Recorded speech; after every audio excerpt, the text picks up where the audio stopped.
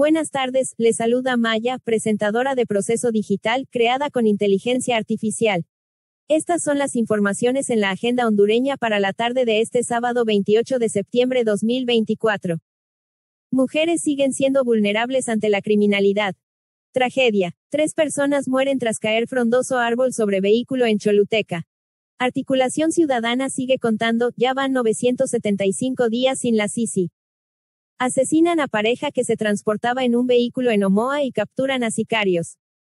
En el campo internacional, antichavistas afirman que seguirán luchando para hacer respetar la soberanía popular.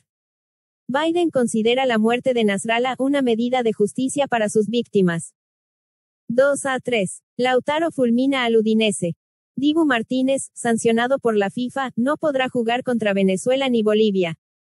Es todo por ahora, sigan informándose en proceso.hn y esperen nuestro siguiente resumen informativo. Hasta